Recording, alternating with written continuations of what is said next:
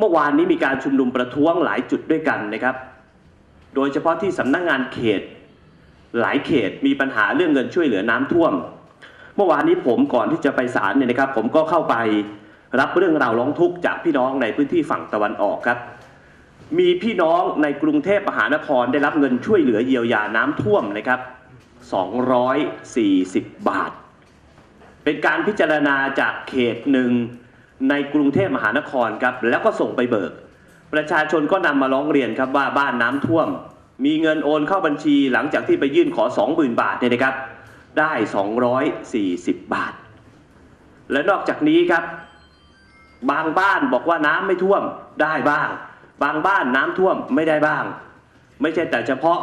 ต่างจังหวัดนะครับในกรุงเทพขณะนี้ก็เป็นปัญหาเช่นเดียวกันครับ เมื่อวานนี้ผมก็เป็นตัวแทนของพี่น้องประชาชนนะครับ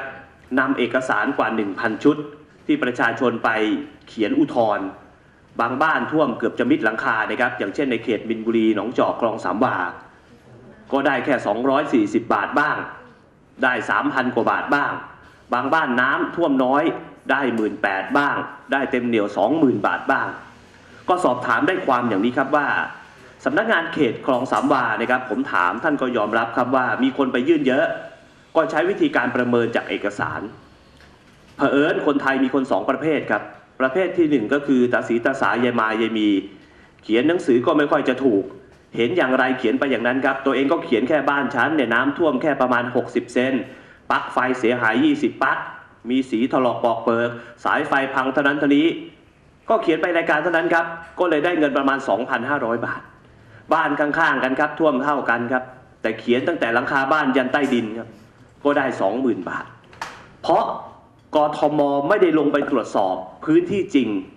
ทั้งหมดนะครับ เพราะฉะนั้นวันนี้ครับขอเรียกร้องไปยังรองผู้ว่ากทมคุณธีรชนมโนไหมพิบูลนะครับ ท่านกรุณาช่วยตรวจสอบด้วย ไม่อยากจะให้เกิดปัญหาแบบปทุมธานีนะครับ เดี๋ยวจะหาว่านักการเมืองไปเกี่ยวข้องผมพยายามจะไปเจรจาเพื่อลดความกดดัน แล้วก็ ได้ยื่นแบบฟอร์มขออุทธรณ์ไปแล้ว หลายเขตกำลังเป็นปัญหานะครับ